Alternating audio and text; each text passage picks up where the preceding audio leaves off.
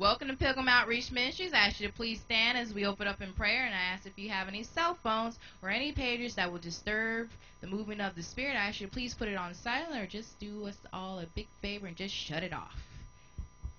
Lord, we thank you for everything you have done for us, Lord Jesus. And Lord, we just ask you to continue to bless us throughout this day and throughout our life, Lord. And Lord, we just ask you just for you to move in today's service, Lord. Move in a wonderful way, Lord. And Lord, we just thank you for everything you've done and will do. And Lord, we ask this all in your holy and precious name. And the whole church says, Amen. Amen. Now it is time to to praise and worship the Lord.